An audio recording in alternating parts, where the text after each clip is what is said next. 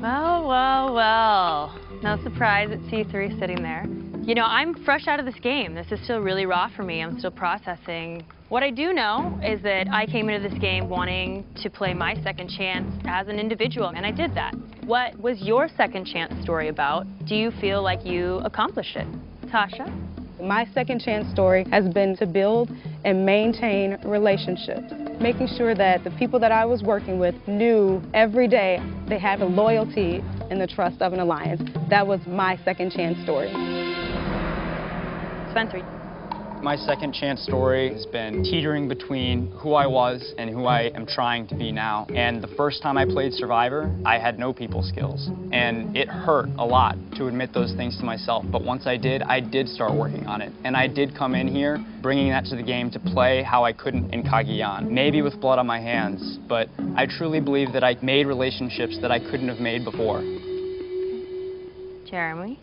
My second chance story, like everybody knows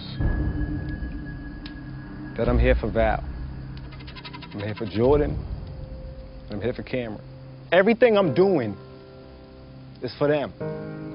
Before I left, Val comes up and tells me she's pregnant.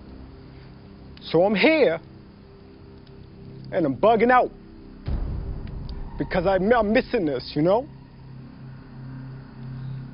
So Val comes on a visit, and she says she's fine.